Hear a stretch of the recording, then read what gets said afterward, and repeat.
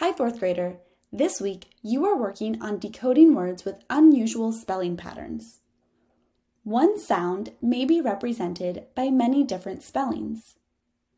If you know all the different spellings for a sound, it will be easier for you to decode unfamiliar words.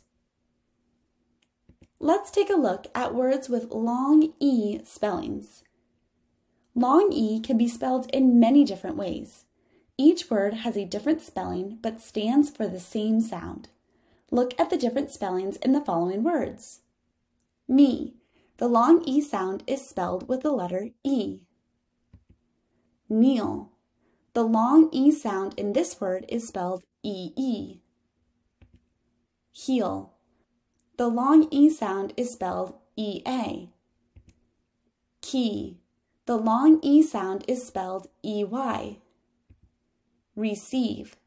The long E sound is spelled EI. Field. The long E sound is spelled IE. Now let's look at words spelled with the short E sound.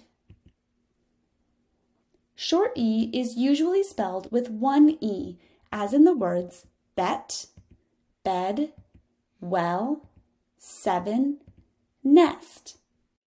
But in words with unusual spellings, the short E sound can sometimes be spelled with the letters EA, as in the word meant.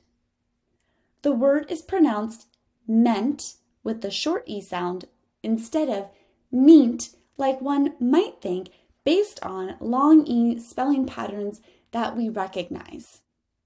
Because these unusual spellings don't follow common rules, it's helpful to memorize the spellings associated with the sounds. With so many different unusual spelling patterns, it is important to learn the most common words that you will encounter in reading and spelling. That way, you don't have to go through the difficulty of decoding the words every time. Let's take a look at the following chart. We will identify unusual spelling patterns here. The first is short E. We can spell it EA as in pleasant or meant. For the long E, it can be spelled I-N-E, as in magazine and routine. For words with the short I sound, they can be spelled with U-I, as in guild and rebuild.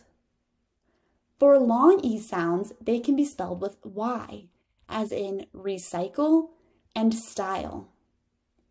And finally, the G sound can be spelled GU, as in guess and guard.